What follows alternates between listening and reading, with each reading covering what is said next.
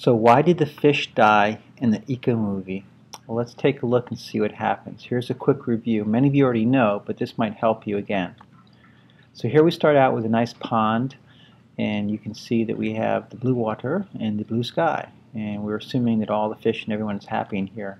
And you might recall there are some largemouth bass and there are some bluegills. And when we get into July, uh, the population has just crashed down to zero. So assume now that we're in the happy part of the year where there's plenty of bass and plenty of bluegills. And the reason that these bluegills and the reason that these bass can survive so well is they have plenty of food and they have plenty of oxygen. And where they're getting their oxygen from are these little green dots here, also known as green algae. And as you know, green algae carry out photosynthesis, which trap light energy and release oxygen and make sugars and food available for everybody else. So photosynthesis producers, green algae. And when the light comes in, they're doing their thing. And so in order to have photosynthesis, as you know, there has to be a constant supply of light coming in to the environment. And therefore they produce the oxygen. Now, second day into it, actually the second time frame you get into, we notice it's raining a lot. And what happens is there's a lot of things get washed into the water.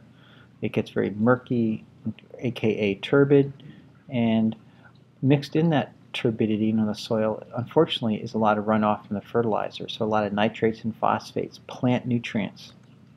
And the big one that we'll be discussing here will be the nitrates. And so these nitrates, again, are, are food sources for the plants to start growing like mad. And next thing you know, the green algae population is getting out of control. It's getting very, very green.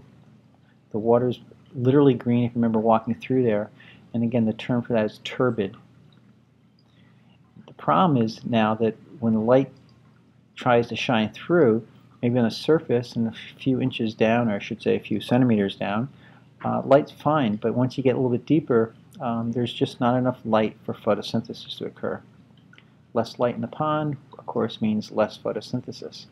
And without photosynthesis, those algae die. And most things in pond ecosystems, when they die, they kind of settle to the bottom in this case, all those healthy green algae are now dead and they've floated to the bottom. I shouldn't say floated, but they settled to the bottom.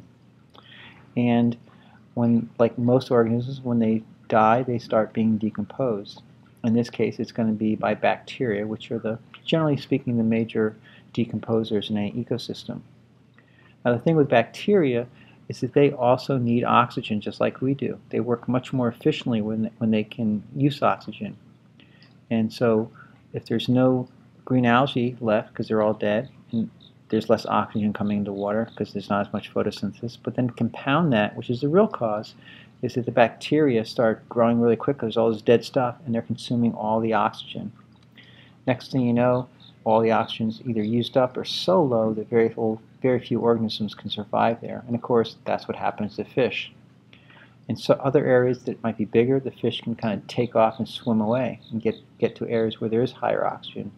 But unfortunately, organisms like clams, and if you're in the ocean, things like coral, things that can't move and just kind of stuck there, they're, they're definitely stuck, and without any oxygen, they'll die. So that is it.